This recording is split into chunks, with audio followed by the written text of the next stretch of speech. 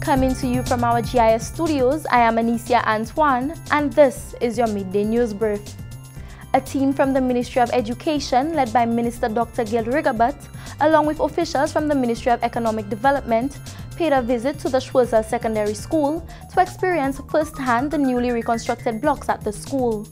The new blocks house approximately 650 students and comprise, among other modern amenities, a sick bay, resource room, technical drawing lab, IT laboratory, music and theatre rooms, and chemistry and physics laboratories.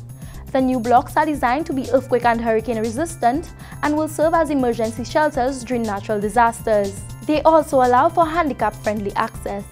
Works are ongoing in Capitol Hill, Morne Fortune to improve the water supply for the residents of the community. The Water and Sewage Company, WASCO, is conducting the works. Minister for Economic Development and Castries Southeast MP, the Honorable Guy Joseph, says the project will impact positively on the lives of constituents. Four OECS member states, including St. Lucia, are one step closer to the implementation of a multi-purpose identification system that is expected to enhance access to government services, reduce transaction costs, and improve business competitiveness. It is designed to consolidate many government-issued identification cards and create a new ID from birth for citizens of the four participating OECS member states. This is seen as a timely intervention given efforts among OECS member states to improve the mobility of health access. The other states are Grenada, St. Vincent and the Grenadines, and Dominica.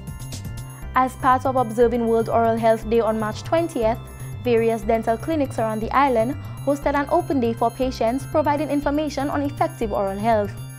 La Clery Wellness Center collaborated with Gros Islet Polyclinic and conducted interactive sessions with students, clients, and members of the diabetic and hypertensive group. The National Mental Wellness Center had a session with patients and caregivers. This has been your Midday News Brief. Thank you for watching.